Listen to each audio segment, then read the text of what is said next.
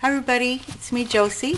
Um, I was just doing this, I've been doing it actually for a couple of days.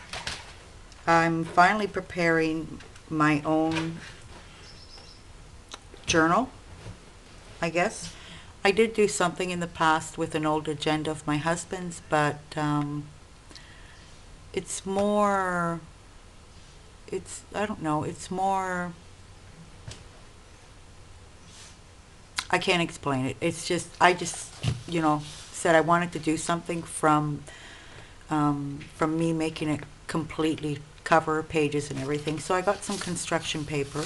I started folding it up and making little pockets like that. And, and th- that's one type. And then I did others that don't have any pockets at all, right? So, and I cut a lot of them because I was trying to, you know, I made the, the cover of the album with a rice box because they're nice and, and hard, they're nice and durable.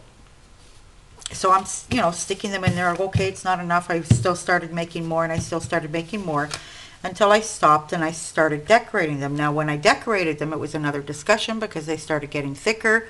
Then I thought, well, things are going to go in there. So I have all these left to do a future little album. And this is the way they turned out. I got all my, I've been going jelly print crazy, you guys. You have to see, I got to show you something.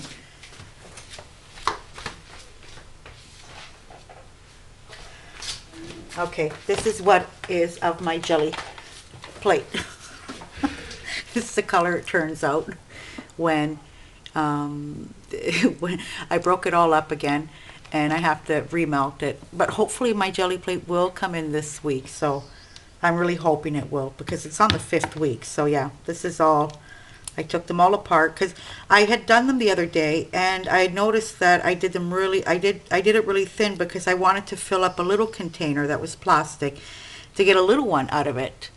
So the, my big one, my original big one came out really, really thin. And when I was popping it out, like it was just coming out in pieces because it wasn't thick enough. So I just took it all, put it in a bowl and this is ready to, I use this to put, put it back into the, um, into the tin. So that way, any kind of particles that are in here, because it does get dirty, it does get dusty, things stick to it, you know, like this yellow thing here that's, and this is the color it's been turning out now since I've been, I don't care, because, you know, doesn't matter.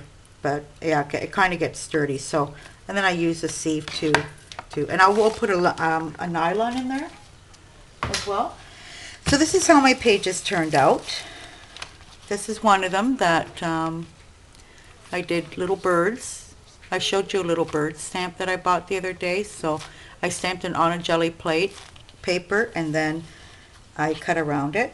This was already stamped on its own, always with the same birds. And this will be the pocket. Now what I'm thinking of here where it folds, I um and here too, where to close it up, I want to sew it with the sewing machine so that way I can close off these edges and have three little pockets in here.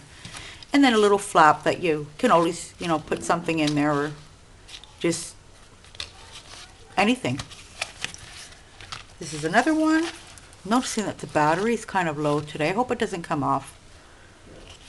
This is the one without the flap. And here, I'm using even my baby wipes that I've dried. This is a coffee filter. Got it on the other side as well. So this is just mainly, mainly all going to be of my Gelli prints, this one, this little album. Here's another one. This one just has a little flap. And this is even fabric that I did jelly plate on. I can't wait for my jelly plate to come in because I'm really excited. I ordered the big one because I'm really excited to do fabric on it. Um, I was, I, I am a quilter, so I'm really planning on wanting to do something in fabric with the jelly prints, like something modern, something that, you know, the kids today like. Um, this is always baby wipes, and here I even put a stencil on it that has faces, but you can hardly see it because it was yellow. Little flap, more baby wipes. I love the baby wipes. I love the colors they are. And there's the other side. So I always ended up making one, two, three, four, five, six. And it fills it up. Well, it doesn't fill it up completely, but it will get filled up once I start adding on to these pages. See that? Another piece of fabric. Jelly print fabric. And before I put them on, I was kind of like stamping on them, doodling on them, doing something else. This is another one. This is always a baby wipe. Here you can really see the the stencil I did on it. And then I started cutting some borders as well too that I will want to use on the inside. And this has a flap as well. This, see, I didn't do the inside of this, uh, whereas the other ones I did the inside. It was pretty useless because you're not going to see the inside once this is all closed up. So yeah, I will probably um, want to sew this all. So that way it gives a nice look to it too. And this is the cover. Now this was a rice box that has a little heart in it. You, you could see the rice through this little heart. And I've got this idea. The other day I was watching um, Joggleistic, I think she is. And she just put out a video on these little cards that she's making. And I think they're only four by four. And she started doing these techniques. She did one technique with um, it's it's like a, an acrylic glaze, I guess, or a metallic paint. Maybe it's a metallic paint. And she did the backgrounds with a metallic paint and the backgrounds with, um, what are those things called? H2Os. I can't get those here, and I and I love love love the effect that they give them. So I really liked the design that she was doing on it, and I did it. But what happened here was, okay, I'll show it to you like this. So what happened here was, I did the background and and I did the background. My background was done with gelatos. So it was all kind of like a rainbowy color around, all the colors that you see here in the background.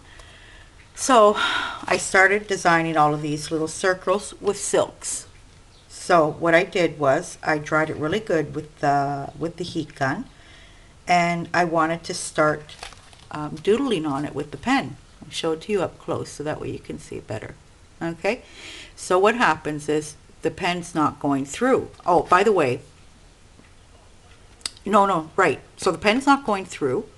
So what I do is, I okay, okay, what I, what I could do is put clear, clear gesso on it, so that way the pen will um, write on the clear gesso, and it did work. But what, what happened when I put the clear gesso on?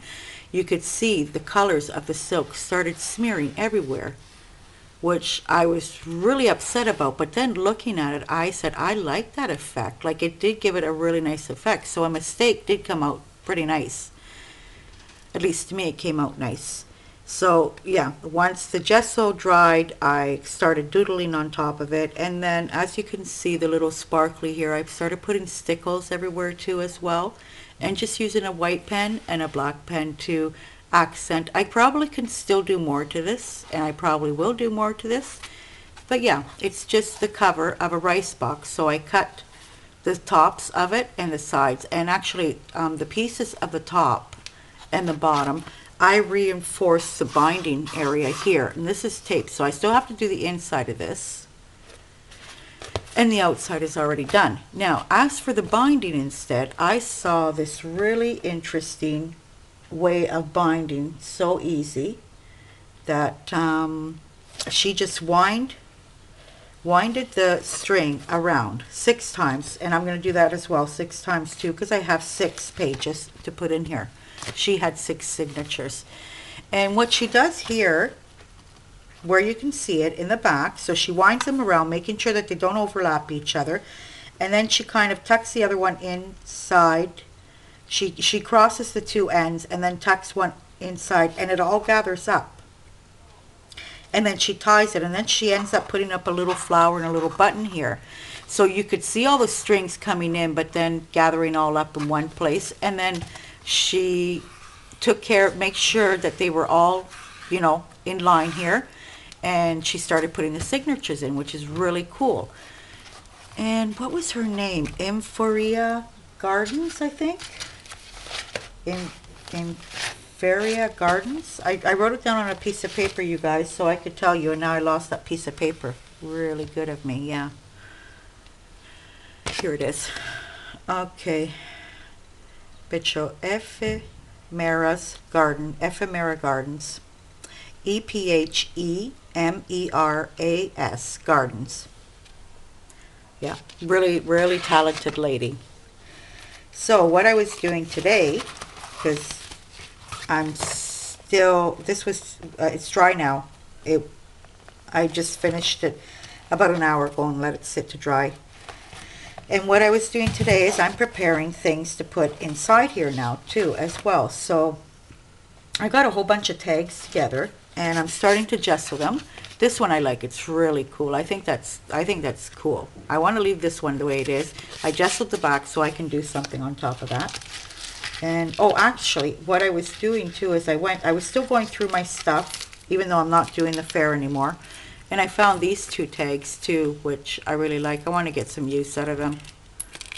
So, I had made them for the fair. Little tags that you can even put on a gift. And there's back, there's paper that you can write on. This is done with, um, oh darn, what's that thing called? UTEE.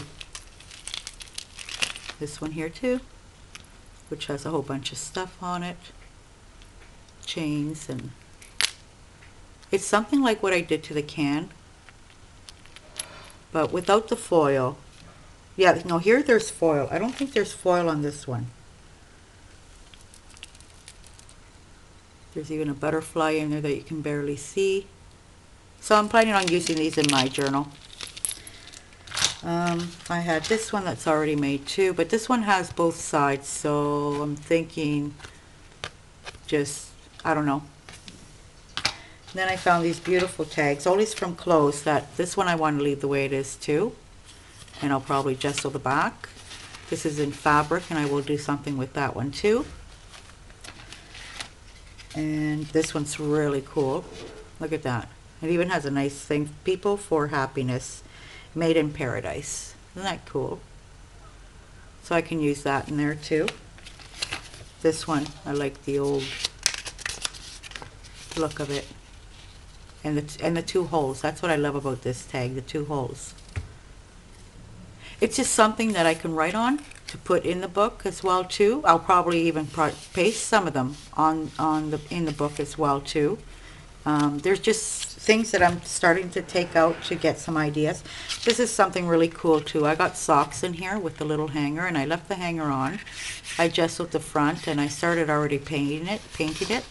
I'm gonna um, gesso the, the inside of it, and this will be in there as well too with its little hanger. And these are already gessoed, they're ready to go. All of these. I don't buy tags because I have so many of them from the clothes, you know, and you can, my kids had this thing about saving their tags. It was like, uh, and all these little cut, these little doilies, they're all cut already like this because we made some cones. I helped my sister one day make some cones for um, a sweet table at a wedding, and we made them out of doilies so they could put, you know, the confettis in there. I think you guys call them confettis. Yeah, so just doing this and um, what else? Oh, I found some other things too while I was looking through my stuff because I wanted to find the tags and I found I found this, which is adorable. These I've made tons of and I've and I've sold them and, and it was my last one that ended up staying here. So I think I'm just going to keep this. I love little canvases that are on pedestals. Oh my dear.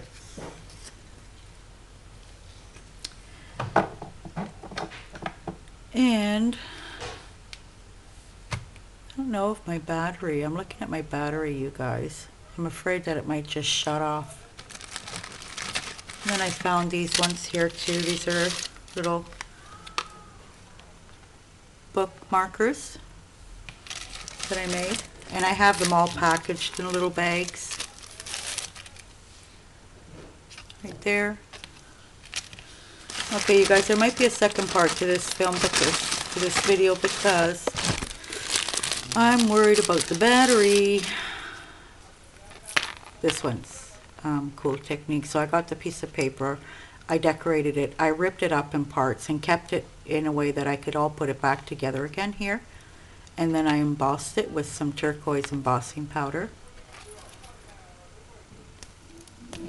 And, um, whoops, homemade beads. Any more?